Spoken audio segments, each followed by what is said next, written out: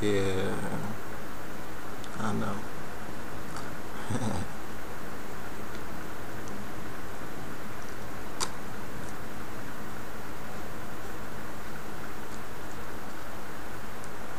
Kool-Aid all of my time.